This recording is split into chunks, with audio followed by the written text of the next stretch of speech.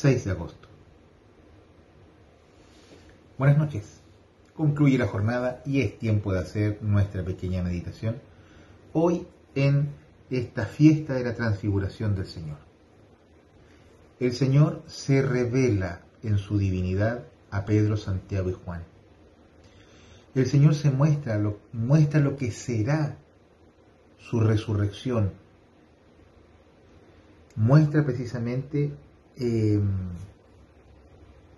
lo que sucede después de su muerte. No es solamente la muerte del Jesucristo humano lo que se está mostrando, sino la resurrección del Hijo de Dios. Por eso se muestra en todo su esplendor, en toda su, plenitud. Dice que se volvió tan blanco como nada, tan brillante como no se había visto antes. Tanto que los discípulos ciertamente no sabían qué decir y decían que bien que estamos aquí, construíamos tres carpas, nos quedamos aquí tranquilamente, de que estamos bien. Jesús les dice no digan esto hasta que el Hijo del Hombre resucite. O sea, no digan nada hasta que me vuelvan a ver tal cual me han visto ahora. Cuando me vean así, revelen esto. Nosotros eh, estamos llamados también a resucitar con Jesús. Por lo tanto, también estamos llamados a vivir una transfiguración.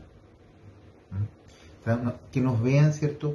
No solamente como el, católico que va a la misa, el católico que comulga, el católico que de repente lee la Biblia, el católico que no sabe si poner a su hijo en catequesis o no, que, que, decidan ellos, no, no. Que vean que nuestra vida ha resucitado con Cristo Jesús, que no somos el mismo eh, desgraciado que éramos antes de conocer a Cristo. Que cada Eucaristía nos muestre distintos, que cuando entramos a la, misa salgamos felices, contentos y radiantes, demostrando que Jesús está vivo en mi vida. ¿Mm? No es solamente un hecho histórico, es algo que se hace vida en mí cada vez que yo estoy con Cristo. Que ojalá hoy que celebramos la transfiguración, la, transfiguración sea también nuestro deseo cada vez que comemos a Cristo, cada vez que lo escuchamos, cada vez que lo abrazamos en un hermano. Que el Señor nos bendiga en esta noche en nombre del Padre y del Hijo y del Espíritu Santo. Amén. Buenas noches.